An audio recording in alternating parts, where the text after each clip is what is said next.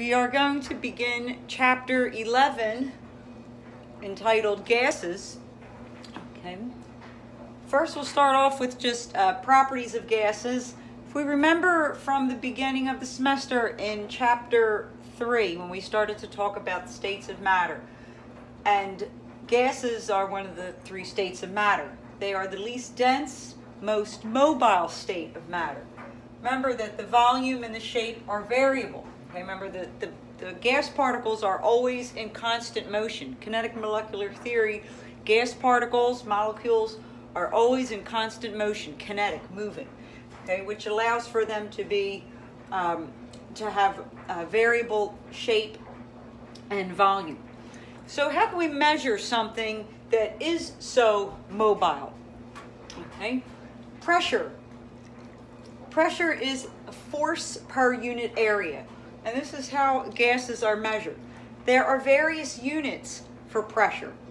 And in our calculations, we're going to focus on a few of them, but I just want to give you a comprehensive listing of multiple pressure units. Atmosphere is the SI unit, the metric unit for pressure.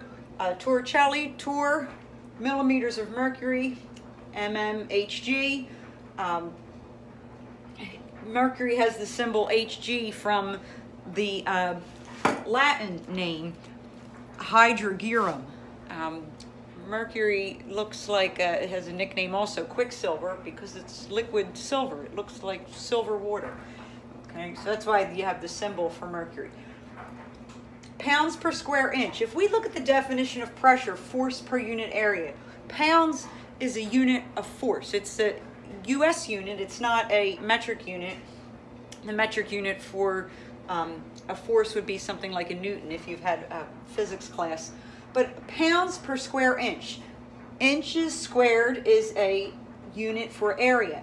So pounds per square inch is a common pressure unit. Other pressure units, kilopascal, uh, the barometer, bar. Okay. You may wonder how does a length, millimeters of mercury, uh, how that's used to measure pressure, which is a force per unit area the pressure that a gas would apply to a column of mercury would allow for that column of mercury to expand within the glass column to the height that corresponds to the pressure applied on it by the gas. Um, if we were in um, on campus and in the laboratories, there are barometers in each lab at um, at main campus and at the northeast campus, and it would give you the um, the pressure of the, the lab by, you would read the column of mercury, the height of the mercury column, and it's usually 755 millimeters of mercury, okay? Um, but these are various units, okay? So we're going to start off by looking at these units and doing some conversions to go from one unit to the other. You may be familiar with pounds per square inch for tire pressures. You, uh, you know, you, you check the tire pressure in your vehicle, right? And maybe you have one of these here, okay? You put the uh, valve stem, okay, uh, up to this, and the pressure of the tire, okay, the um, it will come out and it will tell you what the, the tire pressure reading is, okay? One side is pounds per square inch, and then the other side would be kilopascals, which is used more frequently in, in Europe and Canada and Asia. And then the pounds per square inch is frequently used here in the United States. Um, okay. Um, so that's a, uh, something used to measure pressure. Uh, let me show you some other gauges here used to measure pressure. This here is a gauge that would go onto a gas cylinder. All right, now you could see that it's at zero because it's not hooked up to anything that's applying pressure to it. But if this were hooked up to, let's say, a helium cylinder, um, it would, uh, the dial would move accordingly with the pressure that's applied to it. Okay, so this here has uh, pressure units in pounds per square inch and kilopascals as well, okay? All right. Another device used to measure pressure. Blood pressure cuff here, okay? right. And the gauge on the blood pressure cuff has pressure readings in millimeters of mercury. Okay, it's calibrated to um, give the readings for the blood pressure in that unit, okay? All right, we'll, we'll talk about the uh, blood pressure cuff in a, in a uh, future lecture and how that relates to one of the gas laws. Okay, let's do some conversions here with these different pressure units. At times it's necessary to convert from one pressure unit to another. And let's look at how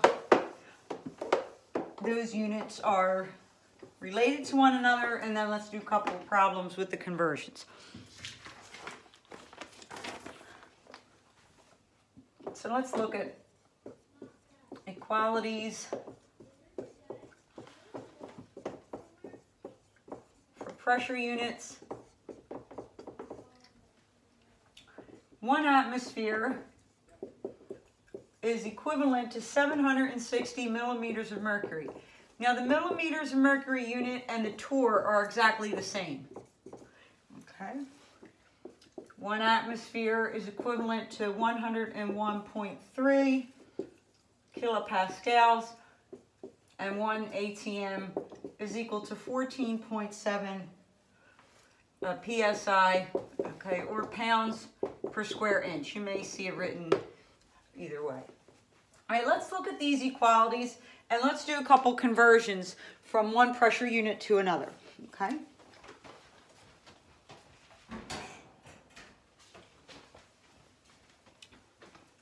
All right, so conversions.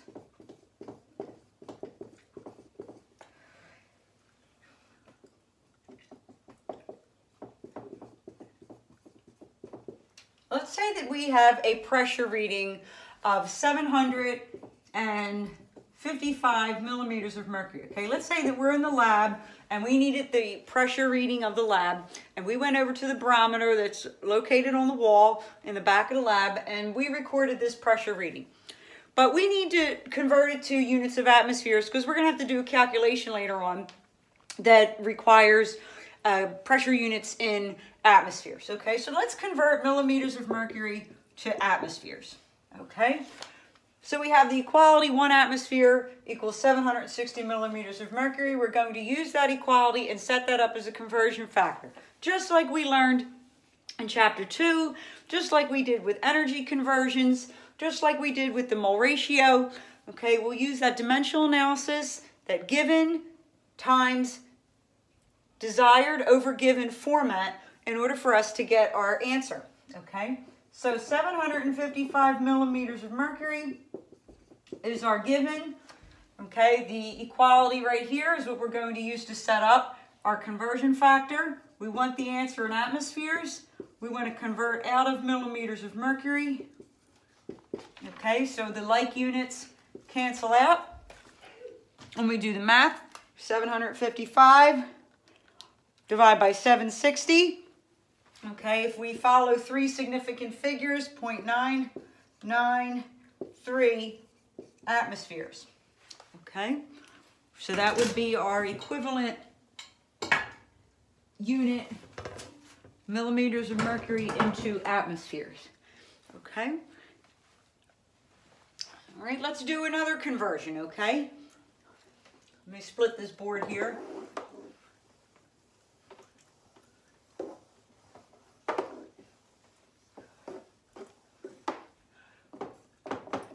Two. Let's say that you have measured a pressure reading of 2.10 atmospheres, but let's say that you want it in something that, uh, let's say you want it in pounds per square inch. You need to communicate that pressure information and for some reason that unit needs to be in pounds per square inch for whoever is asking you for that reading. So let's convert this to pounds per square inch. Okay, again, let's choose the equality that relates the units. Okay. So we have one atmosphere on the bottom. That's our given unit that we want to cancel out.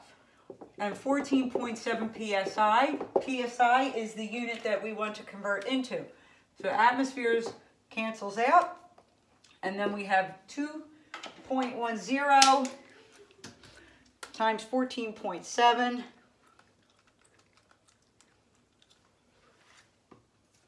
So we have 30.9 with three significant figures, pounds per square inch. Okay, yes, you know when you do it on your calculator, you get this answer here, 30.87. Okay, but remember we're dealing with measurements and significant figures. Okay, so to follow along with that, good practice, three significant figures. Okay. So the uh, your automobile, the tire pressures in your automobile are typically around 30 psi, 32, 35, 29, depending upon the specifications of your vehicle. But on average, 30, 35 psi. Uh, for most automobiles, trucks, it's a little higher. Uh, motorcycles, it's a little lower. So, um, but for most automobiles, in this in this range here.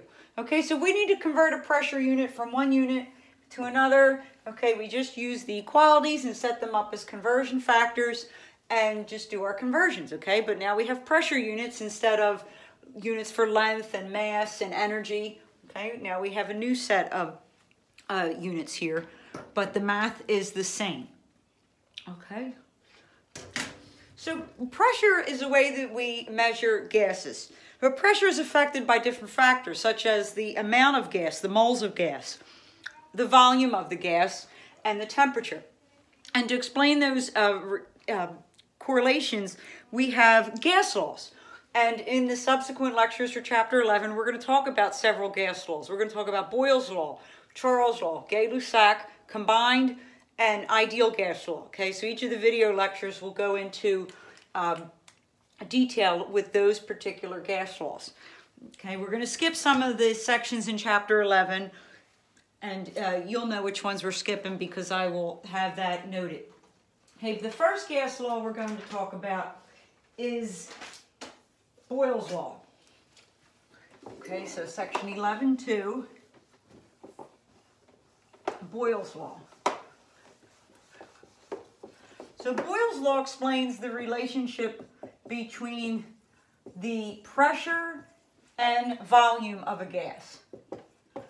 Right, and it's named after the English scientist Robert Boyle, who did uh, experimentation, um, you know, with, with gases.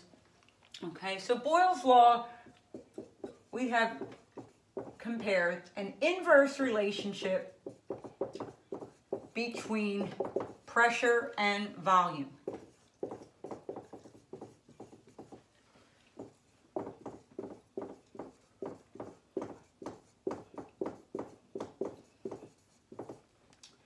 Inverse. One goes up, the other goes down. Okay, so inverse relationship between pressure and volume. If we were to graph data for Boyle's law, and we had an XY axis here, XY axis, sorry, okay, and we were plotting data for pressure and volume, okay, say we have pressure on the y-axis and volume on the x-axis, we would see a decreasing function, okay? It would never hit zero or go below zero because you still have gas particles, okay? We don't have negative amount of particles and we don't have zero particles, otherwise then we don't have a gas that we're comparing pressure and volume parameters to. So we have a decreasing function, inverse relationship between pressure and volume. One increases, other decreases. Okay. The initial pressure and the initial volume, that product, is equal to the product of the final pressure times the final volume. So we have initial and final conditions that we compare. Okay, so this is initial and this is final. Let me give you an example of this gas law in practice here. Okay. I have a syringe here. Okay, let's see if you could read the volume here. Okay. All right, so It's just a regular plastic syringe. I'm going to set the volume reading at 60 milliliters. Try to have it so you could see it. Uh, I think it's covered. It's 60 milliliters right there. I'm going to trap 60 milliliters of air in the syringe just simply by placing my finger over the opening, okay? Now, as I apply pressure, I'm going to increase the pressure by pressing on the plunger. I'm keeping my finger here the whole time.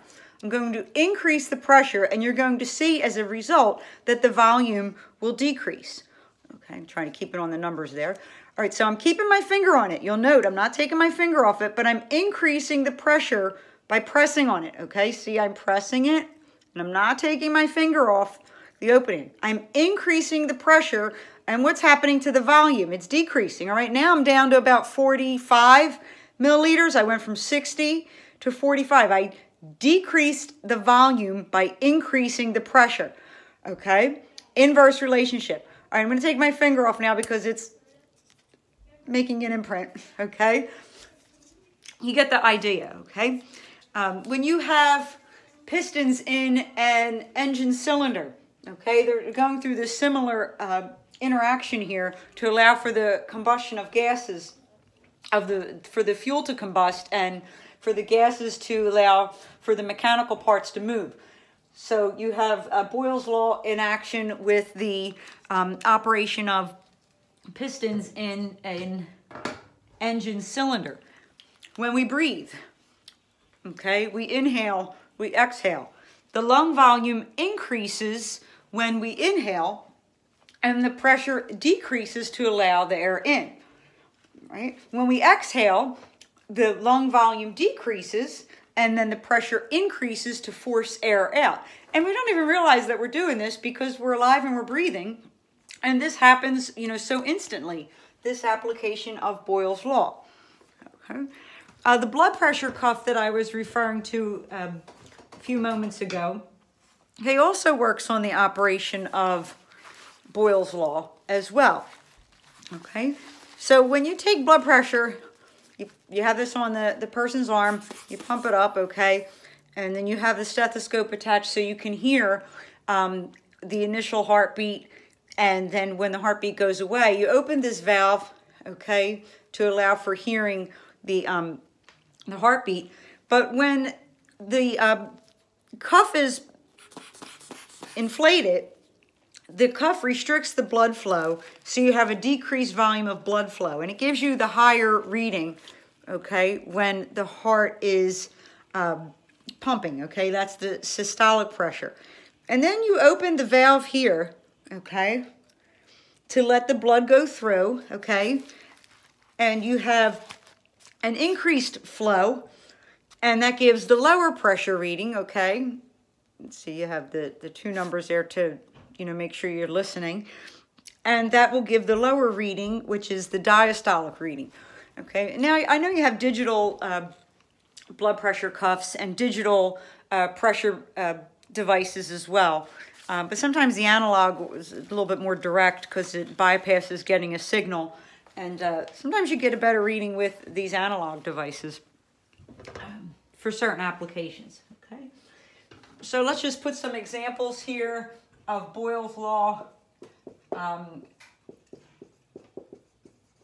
syringe applications,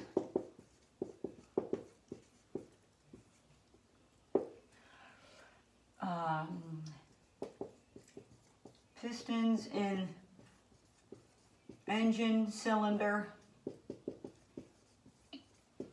the mechanics of breathing,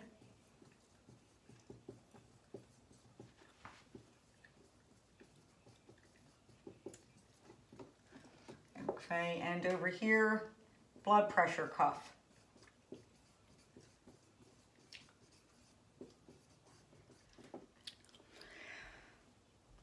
Okay, so here's a problem that um, I was showing for Boyle's Law. I apologize, the video got cut off when I was writing it. Uh, so let me go through it in its entirety. What volume will 2.5 liters of gas occupy if the pressure is changed from 760 torr to 630 torr. Now it's a word problem, so if we look at the units, that gives us a lot of information. We have liters and we have torr, so we have volume and we have pressure, okay? So we want to set up our equation, okay? Here's Boyle's law, P1 V1 equals P2 V2. Let me just write it a little more centralized to line it up, okay? So our initial pressure, we have the initial pressure. We're starting at 760 torr from 2. Start, go. Okay, so 760 is our initial pressure and the initial volume is 2.5 liters. What happens is that the pressure decreases. New pressure, P2, is 630 torr and the volume at that pressure, we don't know. We need to calculate that. So we see that the pressure is going down. Pressure is going down, the volume should be, go up because that's the relationship. So now we have this line here, okay? 760 torr times 2.5 liters equals 630 torr times V2. And then what we do is we divide both sides of the equation by 630 torr, okay, it's algebra. We want to get the variable of V2 by itself. So 630 torr cancels out on the right-hand side, okay, and then on the left-hand side, units of torr cancel out. So then we have the math 760 times 2.5 divide by 630 gives 3.0 liters. Okay, so we round to two significant figures because all of our measurements of volume and pressure had two significant figures. So yes, your calculator will give you a non-terminating decimal, but we're going to terminate it at two significant figures. All right, I want to do another example. All right.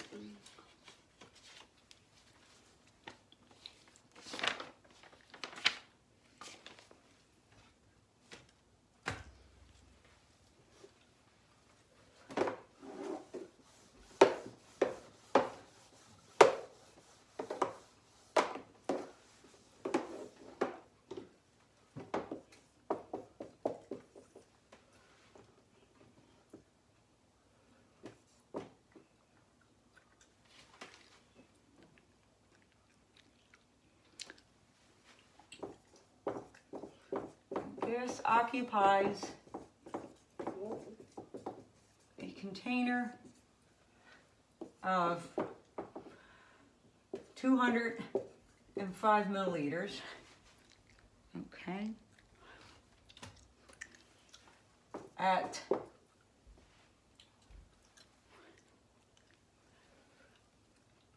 point seven five zero ATM.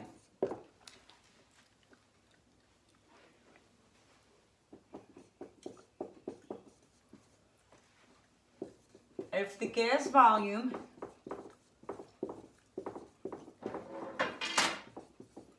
was decreased to ah, 145 milliliters, what would the resultant pressure be?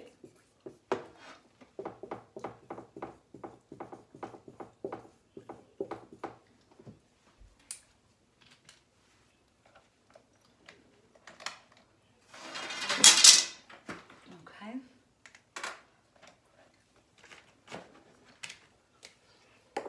So we have, again, a word problem. And we have units, milliliters, atmospheres, milliliters. We have volume and pressure units. So let's write P1, V1, P2, V2, and let's look at what we have. Do we have the initial pressure? Yes, we're starting off at 0.750 atmosphere. And do we have the initial volume? Yes, we know that the gas in that container has a volume of 205 milliliters. Okay, we know now that the volume was decreased and we want to know what the new pressure will be. So P2 we don't have. That's what we want to find. That's our unknown. And V2 we do have, 145 milliliters. So we're solving for the variable of P2. Okay, we want to take both sides now and divide by 145 milliliters.